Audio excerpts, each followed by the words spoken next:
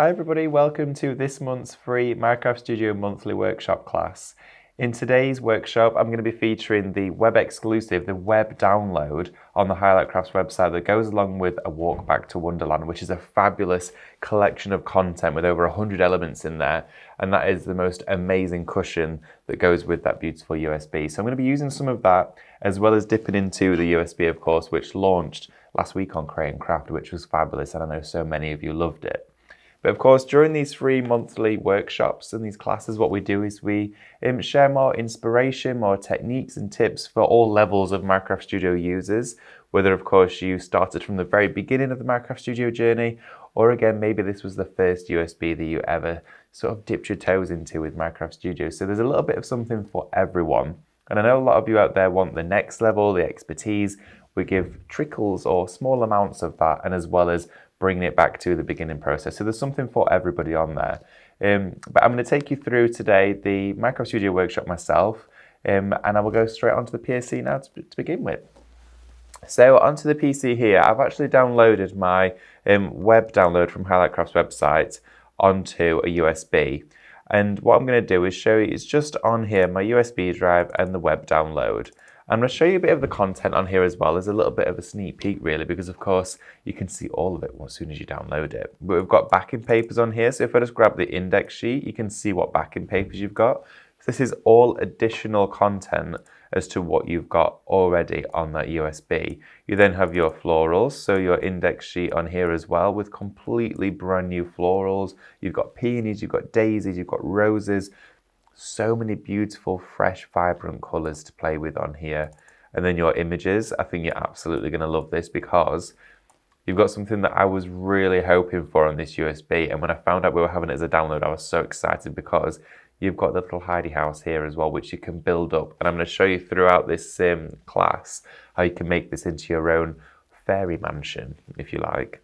Um, then we also have your scenes. So on here, an additional section of scenes here to play with. So you can see again, beautiful color tones, completely different compositions and sort of settings of the day um, with different compositions and perspectives in there for you to play with.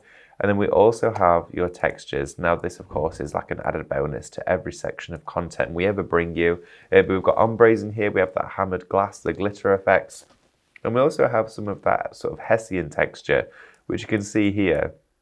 If I just enlarge that, it's like a, um, a beautiful thick weaved fabric. That, that works really well if you're printing this onto rice paper for texture and things like that. But I'm just going to select all of these and delete those off the page because going to start creating our project. Now, something I absolutely love to push My Craft Studio to the boundaries with is making almost your background or your backing paper with an individual file. So going into our images here within our web download, I'm going to use number 13 here, um, which is this rock. Um, now for this one, what I love is that no matter how big you scale up an image, it will not pixelate. So you can see here I still have the complete resolution of that image. It's almost photographic um, and it's not started to dis distort. I'm going to scale it down ever so slightly because we don't need it quite that large. And then what I'm going to do is actually zoom out on my um, page itself so I can see all angles of that image. Because right now if I was to start manipulating this file some of the actual little boxes here which we use to drag and change the scale um, are overhanging off the edge of the page. So this is a really good um, it's sort of a technique really um, to make sure that you're always capturing every element. So you can see we've zoomed right out onto our page there. Now within the top section of My Craft Studio here you have the crop function now what this will allow us to do is literally chop away sections of this image here, this particular file, and we can then make it nice and sharp and tailor it to what we're wanting to work with. Okay, I'm going to bring it in a little bit further from that edge and a bit further from this side as well. There we go. And then of course you can then start to tailor it to A4 if that's the size you're wanting to work into. It's entirely up to you. But I'm thinking for this one, as I'm starting to plan the project in my head, um, you can see this one here will actually distort the image, it stretches it. So if we just go back, here we go, what we can do is as we enlarge it like this and then actually go into, go back into my crop function and we can still actually add back in the cropped So You can see here, what I'm going to do is continue to enlarge it and then crop it in from the side. So I've not distorted my image um, by dragging it and stretching it. We've just enlarged it to A4 and then of course we've actually cropped all those edges. So if we go into, let's have a look in here. If we go into print and go into portrait or landscape, I'm going to make my page landscape, um, which then means I'm left with this space here. Now if we want to make it an exact card shape, you could go into your overlays on this section up here. So if you go into your overlays, into your card designs, there's so many in here that you can pick to play with. So if we put this in here as an overlay, this here would be my card front. So then what I could do is scale this down knowing that this is exactly A5 and will fit 100% in the front of there. So when we then go to print this particular image um, as it is, we know that this will be the front of our card. We'd score and fold here. Then of course you could put any sentiments or anything on the back of the card uh, or of course your signature if you're making your cards to sell. Um, but that's there a way of being able to 100% always get accurate printing with your projects to 100% sizing. So I'm going to take the overlay off for now because I'm quite content knowing that that is now A5 and is in the accurate position. So to start working on this particular um, file itself, I'm just going to move it central to my screen because for me personally, I always like to work central and then I will crop it, manipulate it and take it to where I want it to be. So I want to work with a secondary file in this one and I'm still working into that web download that we've got there from the website. And this file here, I love. For one, the, the, the scale, the light that's casting over the front of it, you've almost got like a shadow that runs over here, but I think it will look perfect when we start to work with this particular image over the top of this texture that we've made. So I'm going to focus on this as my center of my page. And before I do anything else, I'm going to copy and paste it. Okay, so I've duplicated that file at the exact same scale and sizing. Now, with this original one that we started with, what I'm going to do is I'm going to use our scissors function. Now, this will give me um, a much more directional cut. Of course, if you were to use your lasso knife here, it's much more freehand. Okay, so as you're going around cutting, um, you've got more chance of getting um, precision with maybe florals or something that's very fine and detailed, where you maybe want to blur those lines. But um, with scissors, what this will do is allow me to carry on quite a straight cut and then manipulate into those curves as we go around. It's almost like dot to dot with this one. So each time I click down onto here, all I'm essentially doing there we are, is cutting this out just like that and it will dot it up for us. And as we go around, that sort of stitched line essentially is um, is adding like a slight curve. It like molds itself. So what we can do now is select keep the inner or keep the outer. So let's keep the outer. So we are now left with a window frame which we either can then overlay onto maybe our secondary one. So if we bring it that to the front, this could sit directly over the top of this, and then we can start to play with the glass pane inside here. So, and you could change the colorways if you wanted a green window, and then you can lay this back over, and then automatically your glass is a diff completely different color. So you're playing with the folders in, in, in separate layers to create these effects. So this is um, a really fun thing to do because you can see there again now you've got complete control of changing something to a realistic element, but you're not changing all of the stone at the same time. That's left as it is. But I'm going to revert it to its original state um, for now. Here we go. And I'm going to put these two together. And what I'm going to do is I'm then going to bring in um, a third element. So I'm going to go back into the actual USB itself, which is our um, a walk back to Wonderland. Let's have a look here. So I'm going to go straight back to my artwork. So I'm just going through, here we go, into my artwork. And then we've got all of our USBs that I've downloaded onto My Craft Studio. So I'm going to go into our images and then I'm going to select one of our fairies here to use. So I think the one I'm going to play with for this particular one, let's have a look at the selection that we've got. I think she would actually be perfect for this. So if we were to sit here, almost that she looks like she's sat looking out the window. Um, if I sit her to the back of our file like that, her elbow now appears to be resting on that window ledge, which works really nicely for this. Automatically, it just works. It makes sense. So I can see here that I want to crop this image because we've got a foot sticking out here. So if I take our overlapping window away, and all we need to do is crop just up from there. And if we bring this back into the equation and sit it just here, there we go, it works just like that. So I'm going to highlight over the two of these.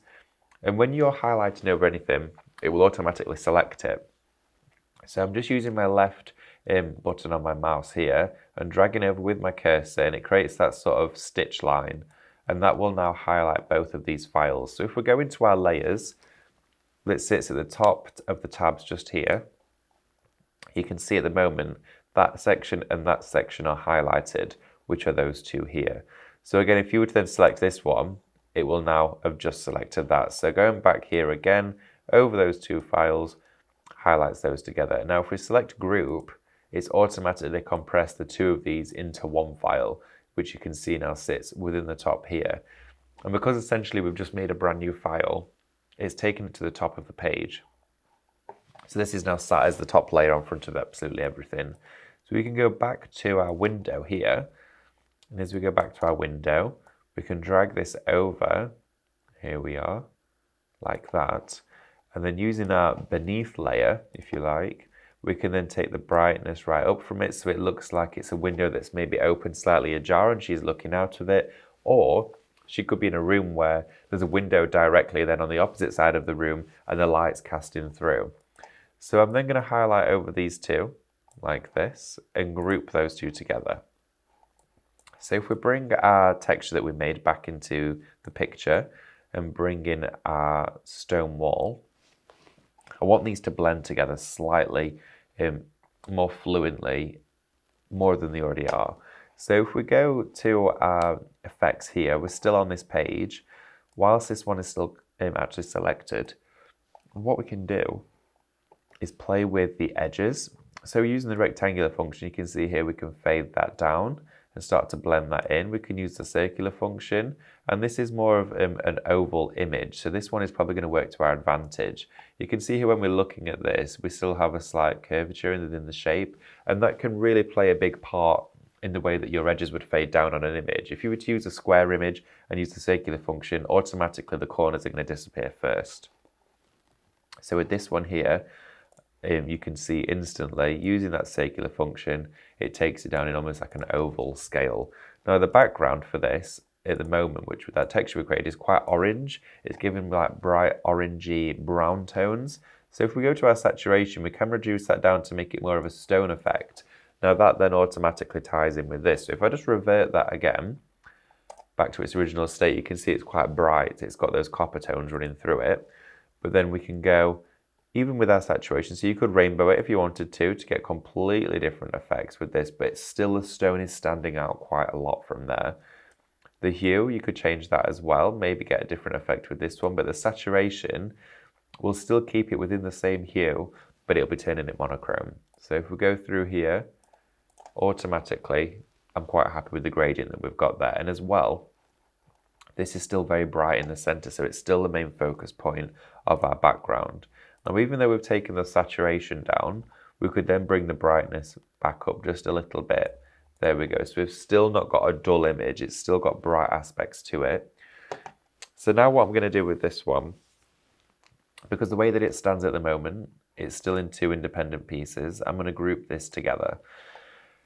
And because I can see that I only have two files, I can select all and group.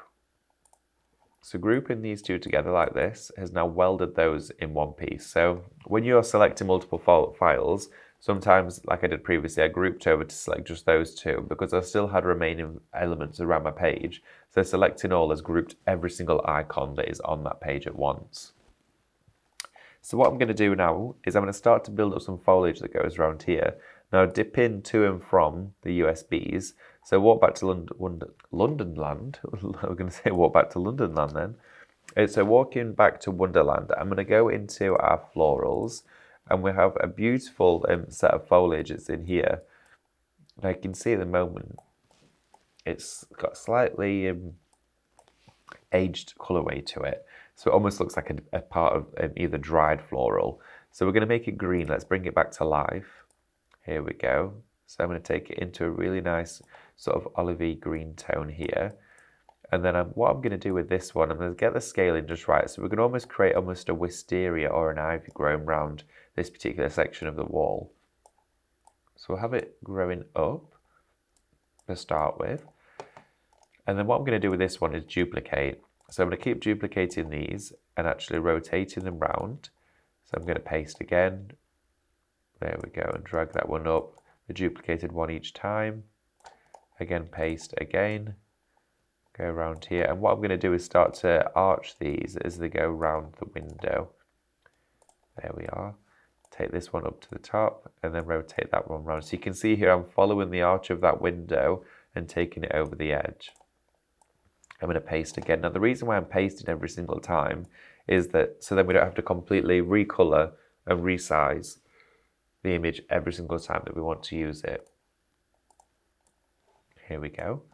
So I'm going to bring this one up here like that. And then what I'm going to do is bring another one just down here. So we've sort of gone across this section of our image here. So if I paste again, and then bring this one and actually make it much smaller, what we can do is have some like veining going off with the, from the ivy. So I'm going to do a little bit here. I'm going to copy and paste that smaller one now. There we go. Bring that so it goes off towards the edge. Just like that. And then I think I'm going to do the same again. I think I want another large one first. I'm going to copy and paste that. And bring that round here. Have a bit going off to this side. I think we want some trailing down this side of the window. So if we duplicate our smaller one again, so I'm going to copy and paste that, rotate that round just here. There we go. And then start to paste that again, bring those round. And you can see just how naturally it starts to take shape. Now, the beauty of this is that the file itself is so easy to work with that we've taken it as a sprig and turned it into an ivy, which is just amazing. So I'm going to go and duplicate this one and just start to play with it. Start to have fun with the idea of which way it's starting to actually flow. There we are. So I think I need a little bit more of that just bringing down to this side. So, so far, in working with My Craft Studio, what we've created essentially is our own background. We've actually duplicated and cut into one file and added in our fairy. We've then got our ivy that we've used from one file again so far, but now I'm thinking about this, looking at it and saying that we need a splash of colour. Now this means we can actually turn this set of trailing foliage into something completely different. So I'm going to go into the web download that we've got, um, into our web download, into our florals. Let's have a look. And as well, for your web download, you can find that in the description uh, below the video as well. So do check that out after or before you've watched the video, because then of course you can recreate exactly what I'm doing here or do it in your completely own style. So I'm going to enlarge this and I'm going to copy and paste it and just off center it ever so slightly. So we've got like a thicker, fuller image of that color there. And then I'm going to group those two together like this. And I think we want it to be more of a purple shade. So we're going into our hue. I'm going to take that right through until we get to purple. There we are, that is perfect. So I'm going to scale this down and start to bring these in. Now what these are going to represent is almost like a wisteria. So I think these are going to work really well in here. So I'm just dotting these around in different areas. Um, again taking some of them down here to bring that colour in, tying it up. And as I'm actually starting to um, build this design, I can see instantly where else I'm wanting to place colour, where else I'm wanting some design work to come into this. So I'm going to bring some more into the window to the edge. I think I'm going to leave a gap here because I think one of those lanterns would work really well there. So into the USB again, I'm then going to go into the lantern and bring one of these in just to add um, a pop of colour or an area of brightness. I'm going to bring that here next to the window. Continue to paste some of the wisteria flowers. There we go.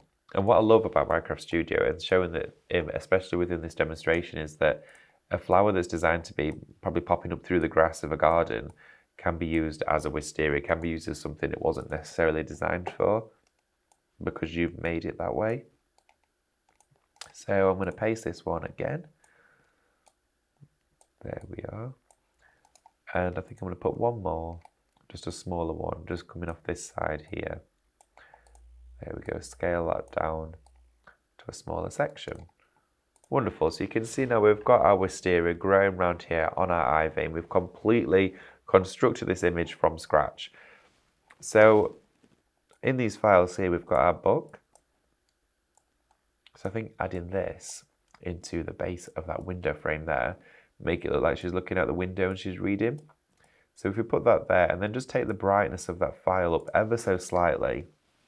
So with the brightness tool, you can see here, if I was to enlarge the book here and take the brightness right up, I'm having it overhanging on the, the white page and my purple background. The brightness will make it a, either a completely white silhouette or a black silhouette. Now what this means as well is that if you were to have all of your individual files in black and you were to put them on your scan and cut map, your scan and cut can see that outer edge and you can cut them. Now that's something completely different if you would love to do something like that, eh, but that there is another option of which you can do. But what I'm going to do is take the brightness up on here. There we go. Scale that down and just bring that in around here. So you can see the brightness has then just made it um, pop from the center, but as well, um, has taken away that brassy tone that was within the pages of the book and tied it in with what we've got. So down here, I'm thinking I'm going to want a sentiment, maybe some foliage coming in from the sides, and we could probably pop some of those butterflies in there as well. So let's have a look through our web download, which is just here. There we go. So in our images, we have got our butterflies. Now these ones are completely different from the ones that you do get, of course, on that USB. So an advantage of going for that download is that you've got all the corresponding artwork but in completely different ways. And I'll show you some more examples of those as we go through. Um, I'm going to copy and paste some of our butterflies. I'm going to flip this one round so it's facing the opposite direction. And I absolutely love the flip tool on My Craft Studio because it completely changes the look and feel of an image just by mirroring it. So again, I'm going to take this one and pop that down here. And then I'm thinking we need some greenery or something that actually makes it look like this could be maybe the turret of a castle. And this is just a snapshot of that section. Um, so if we bring this tree in and really scale this up, I'm going to scale out again. So zoom right out from my page and bring that right up to the edge. There we go. What I'm going to do is actually crop this tree right into the side here. There we go. And I'm just going to take off that extra space because it just doesn't need to be there. And then if I OK that instantly now, that appears that there's a large tree growing up the side of the castle. And you can see here it's overlapping from the window. So I want to add some sentiments into our actual image that we've got going on. So what I'm going to do to start with is I'm happy with how everything's going and I do have slight overhang on some areas, of course, which we want to remove. So if I zoom right out, group over everything, so everything is now selected on here. So if we go into our layers, you can see how many we've built up so far. There is quite a lot of layers in this folder that we've created. So if we group it, that automatically then compresses all of that. It can take a few seconds sometimes if you've got quite a lot of content. That's now grouped all of that into one layer. So I'm going to go into this and then to remove these sections off, you'll notice now, and this is something I get a lot of people asking me, is that all of a sudden these areas here are all greyed out. So you can no longer tile, use your, your knife, your scissors or crop. That's absolutely fine. If you were to want to still use those functions, what you could do is save this as a PNG file on a USB or on your computer, drag it back into the software, and these functions would then become available because it would see it as a brand new file. What we're going to do is use our basic shapes to cut around that. So we're bringing our rectangular basic shape here.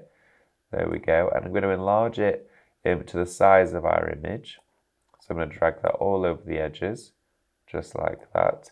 And if we select to keep the inner, that will crop off all of those out little bits and bobs that we no longer want and give us a really nice sharp clean edge to our, to our particular image. Now what I'm then going to do is set this to one side for the moment and I'm going to make a sentiment. Now when I'm looking at this, I don't want a sentiment that's going to detract from what's going off because, of course, a lot of people don't place the sentiments on cards because this is going to be a card front. But again, it would look lovely as a journal front as well.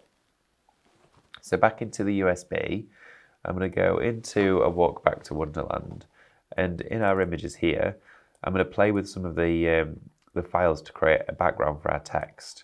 So if we bring this in, I'm going to go to, let's have a look, our text folder at the top here and add text. There we go. So I'm typing directly on top of this. So if I put, uh, let's have a look. If I put 16 today, there we go. And if I then highlight over this and make it so that all of the writing is centralized, like that, we can enlarge it. So I'm going to scale it up. But with the black over the top of here, I think it just looks a little bit blurry, like you can't really see it very well. So what I'm then going to do is if we go into the color of our text, you can see here I'm actually changing the border. So we've changed the border and then I'm actually going to change the color of the text to white as well. So we've got all of that now changed to white. So if I just go back to show you those steps again, I'm just going to reverse this how it was. There we go. So what I started with was the text itself. So clicking on this function here at the top, the black box, I went right up to the white. We highlight our text, there we go. Right up to the white to actually set it in place. And this way we can now create the colour of our text. So there we go. So there we are, I've caught it its attention now. And then the black one again, and going to take that to white so that we now have our text in place. But still, I'm getting a little bit of um, airy behind where it can where it can still look a little bit almost confusing. So if we go into our effects, without adding a depth or direction of a drop shadow, we can add a blur radius. Now what that will do to our text is instantly give it an uplift. So like this, we can see straight away that's allowed it to stand proud from the background. Makes a massive difference. So if we then grab our sort of our emblem, our back layer, and duplicate this, so I'm going to copy and paste that. I'm going to bring in my image here, which will sit towards the back, because I want to just see a bit of background so I can layer these up. So if I take the brightness of this file all the way up to the top, bleach it all the way out, there we go. And if I send this, um, let's have a look, send it to the back, and then let's bring it forwards one step.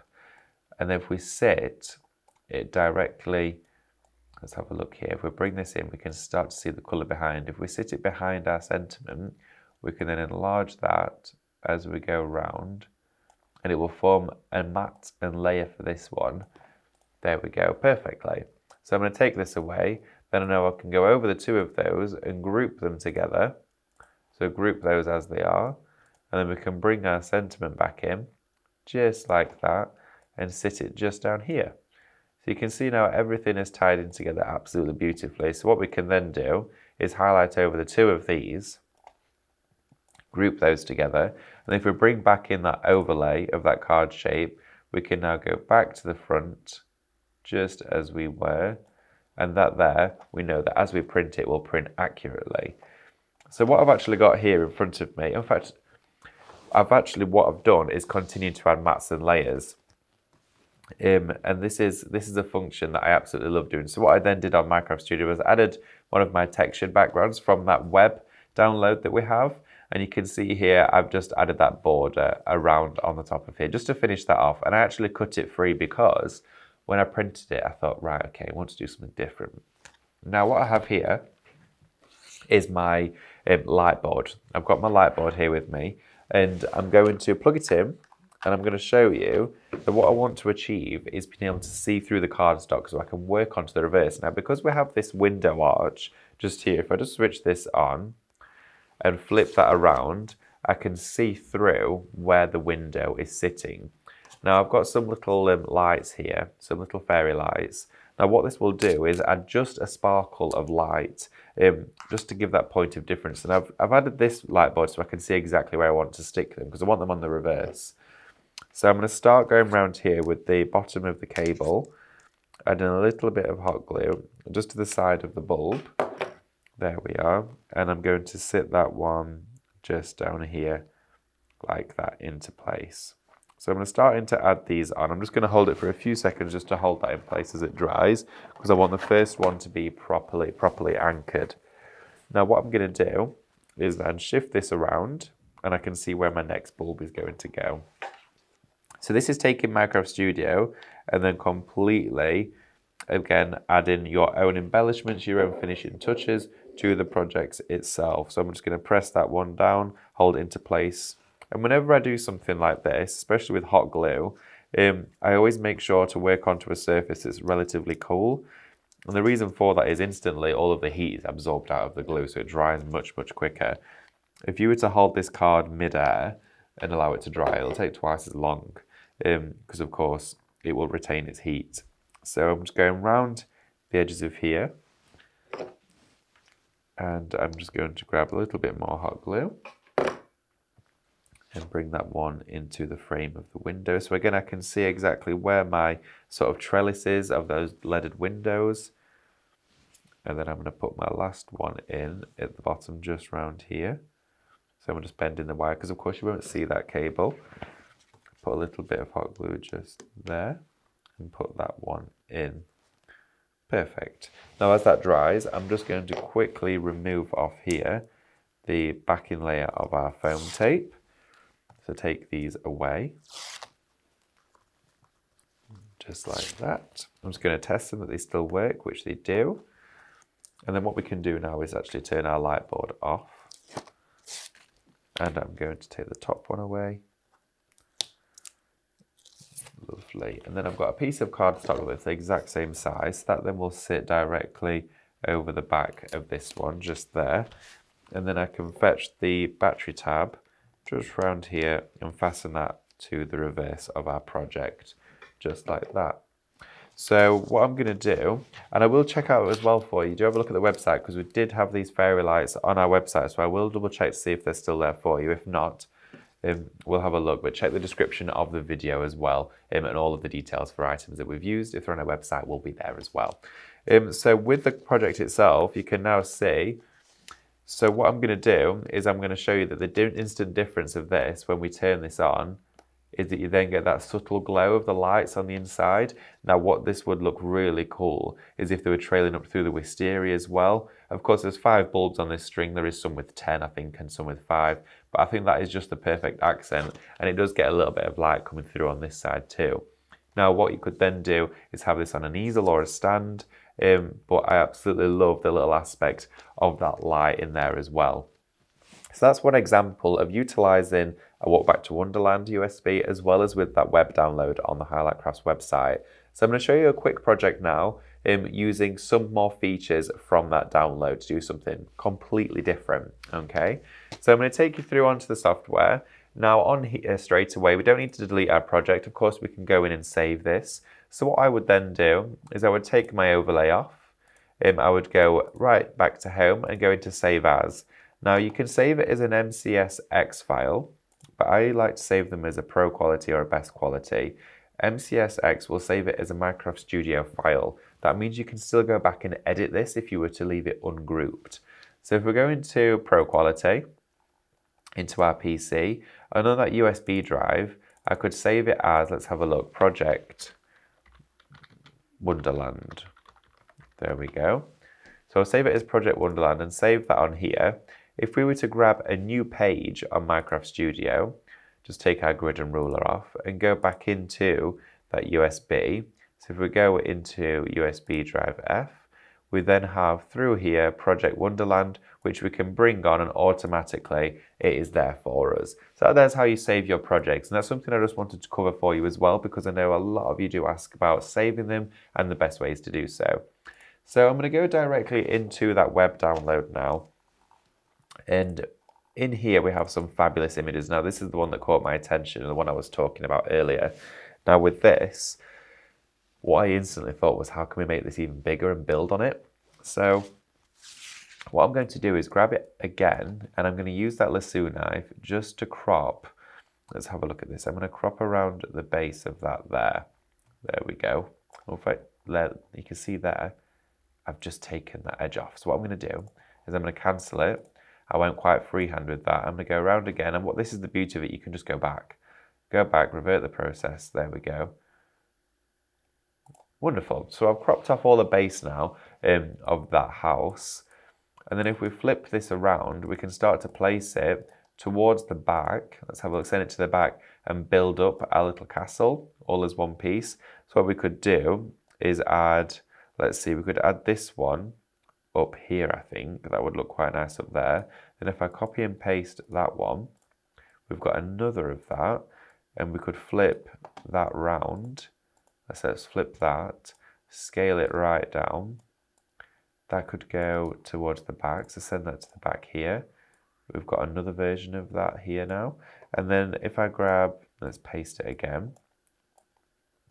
And then we can actually scale that up, put it here, and then send that one to the back. You can see how I'm starting to build this up into like a, a small little castle. Um, so let's paste it again. And then what I think I'm going to do is then just send that one there to the back. So now I've built up this sort of plethora of turrets, all these different um, elements and areas. So I'm going to just quickly zoom out of all of this and actually group all of that together. So I'm confident that that is now all in one piece. We can always go back and ungroup it if we want to, if we want to add layers in between. Um, but I'm going to start to just build up a foreground for this and some areas that almost are going to look like they're floating around. Now if I go back into the USB, let's have a look just up here, into the USB itself, into the images, there's some scene building elements. Now these are fabulous. And you can see again we have this little dormer roof here. So if we put this in, we can start to add this to the top of our turrets adding that extra layer of interest and dimension. So I'm scaling these down and I'm going to duplicate these. There we go. Popping those into here. So I'm going to paste another one. So if I flip this one into that direction and scale this one right down, how cute is that? I absolutely love this. I think it's just fabulous. It's like model making on your computer. So I'm going to grab this one and change the direction of this again. Scale it right down pop that one here. There we go. And it's it's quite natural for it to be overhanging that edge because that's how it would appear. Um, I think with those ones, I'm going to leave that bit as it is, quite like that. But again, because I've put those on that layer, I'm then going to go in and group that again. So now all of those are welded onto there. So let's start to bring in some foliage and some trees. So I'm going to go back into our web download, into, let's have a look into our florals. Um, I'm going to drag a few of these out on here so I've got them and now I can use them. Bring some colour into it. And then let's have a look at, let's see in here, into our images. We'll use some trees. These will be perfect. So I'm going to grab a couple of these and start to build up a little bit of some foreground. We could send some into the background. I quite like these overhanging the front.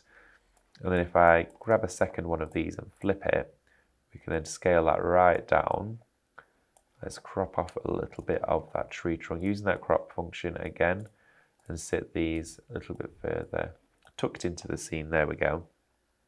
Now because we've added this splash of colour, I think it would look quite right to then add one of these into the background. So if we were to then send this tree to the very back, like this, we then have all of that in there as well. So let's start to add in some more trees. Scale these down. You can see instantly already we're creating like a really magical scene that we've got here. I'm thinking, can we put this tree in there as well? Elongate it a bit, send it to the back. Probably pop that here so you can just see a bit of the greenery coming through. Now, the one thing that this is all automatically to me is lacking is a base or a foreground or something, some sort of structure for it to stand onto. So if we bring in from our, let's have a look here. If we go back into our USB and we go into textures, we've got a whole host to work from. And I'd use number 43 here, which is a really vibrant green. So if we bring that down to maybe almost um, an olive tone, maybe a little bit more, there we go. Um, I'm going to use that circular faded function again. So fading that down, I'm just going to make it slightly narrower and scale it down. If we rotate this around, so it's rotated to 90 degrees, what we could then do is squish it down and then go to order and send it to the back, we can create almost a base layer or a foundation for our image. There we go. But we still have this line here that isn't really blended in very much. So if we start to work in with some of our files, we can go into our images. and we've got our mushrooms in here, so let's have a look at some of those. This here will allow us to really sort of break that line, break that border, and allow us to work into that detail. There we go. So add a couple of those into here. I'm going to flip one of those around, scale that down. And automatically what we're creating here is a sense of blending a seamless design uh, where our folders can just mingle. I'm going to bring the wizard in here. So if I actually start to zoom into our image a little bit more now so we can see in closer detail, let's bring him in and scale him down.